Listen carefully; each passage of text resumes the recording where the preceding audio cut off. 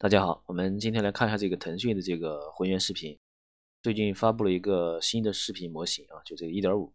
那么这个一点五呢是一个轻量级的视频模型啊，那么这个就意味着我们家用的电脑也可以使用了。那么它是十月二十号发布的，发布的时间也不太长，然后我们就看一下它的效果吧。这个呢是它的效果，看一下，大家看它这个效果其实很出色的啊，非常的高清。但是实际上，你想达到它这种效果的话，那你这个还是你的机器的配置得跟得上啊。咱们一般来说，你可能你做出来的效果可能没有它这么效果好，所以这个大家需要有一个心理预期在，除非你显卡特别高级。好吧，我们其他没什么太多可说的，我们直接看项目。那么今天的话，这个包是有点大，因为这个模型还是有一点的，三十个 G 将近。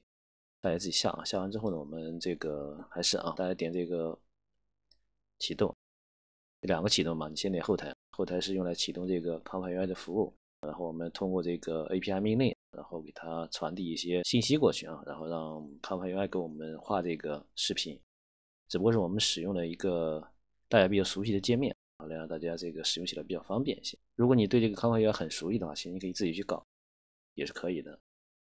这个我们就需要稍等一下啊，它正在启动。大家看到这样启动了，启动之后这边这个地址不要去点，然后你就把它放在这就行了。然后我们点这个启动，这个红色的启动，那么它会打开界面。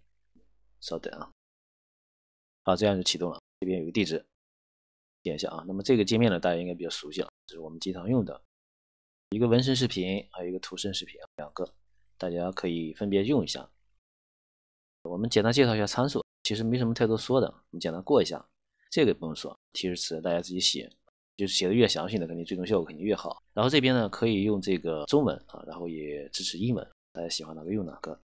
下面是种子，这个不用说，这个步数和下面这玩意儿呢保持默认就行了。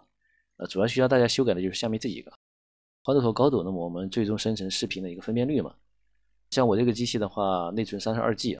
加载这个纹身视频和图层视频的这个模型啊，是刚刚够，真的就是差一点都不行的那种状态。所以这个大家没有三十二 G 的话，那么你这个肯定是不行的。然后加载完模型之后呢，然后就进入这个生成状态啊。所以我们生成状态呢，我们需要调整这个视频的这个分辨率啊。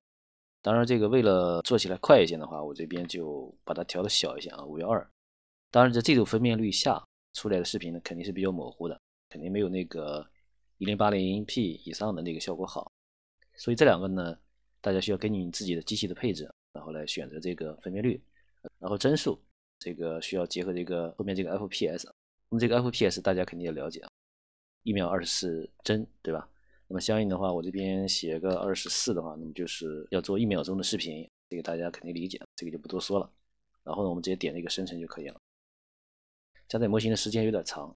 然后我这边呢就不去等这个时间了啊，因为我之前做了，我给大家直接看结果。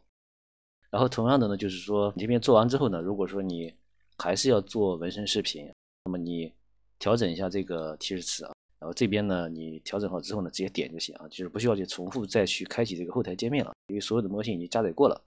如果说你是想换一个啊，比方说你之前是纹身视频啊，那么现在是图生视频，这样的话你需要把这个后台关掉。关掉之后呢，你需要再重新启动啊，因为这个需要加载的模型是有一些差距的啊，大家需要注意这个就行了。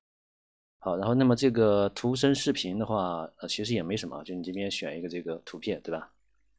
选一个需要的图片，它是这个视频的第一帧嘛，所以你这个动作呢，最好是照着这个你的图片来写，要不然的话看起来很奇怪。然后这些都一样，大家自己调，然后点生成就可以了。这个时间确实有点比较长，所以我们直接看一下结果给大家，大家看一下就行了。这几个，这个，一个恐龙对吧？